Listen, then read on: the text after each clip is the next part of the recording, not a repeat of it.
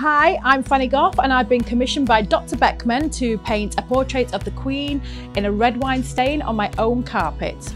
I'm really excited about painting a portrait of Her Majesty the Queen using her favourite tipple, red wine, and Dr. Beckmann's carpet stain remover as my paintbrush.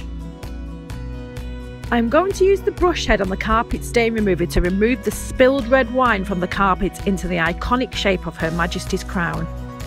Using the brush head as my paintbrush and the carpet stain remover liquid to tackle the deep red wine stain.